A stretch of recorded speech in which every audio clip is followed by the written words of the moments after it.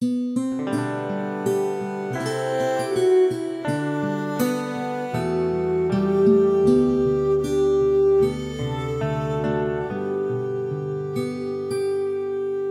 en bar någonstans i söderns länder vid ett bord långt borta hemifrån satt en man och såg på sina händer längtade att komma därifrån.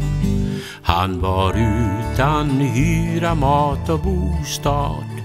Inga pengar fanns det mera kvar.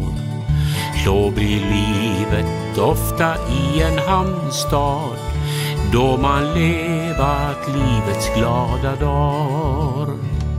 Han har flackat runt bland världens städer, trampat däck på alla jordens hav. Stått till ros i alla sorters väder, kämpat för att inte gå i kvav. Solen bränner honom där han sitter vid en dammig smutsig trottoar.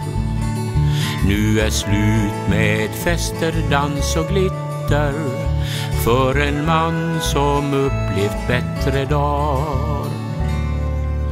Många år har gått sedan detta hände År av missbruk, elände och nöd Själen som av bittra minnen brände har fått ro i aftonsolens glöd.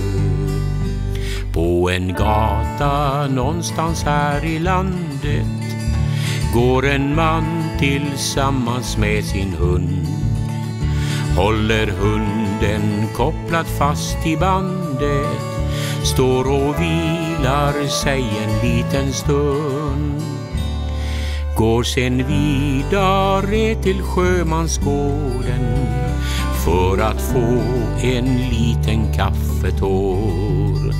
Långt från rännstens liv och sjukhusvården har han funnit människor som förstår. Som förstår att visa människor vägen till en mycket bättre värld än vår. Där ett evigt solljus alltid brinner där den trötte vandran vila får. Där på sjömanshemmet finns hans vänner, kaffebryggan alltid redo står. Det är vänner som förstår och känner vägen till en bättre värld än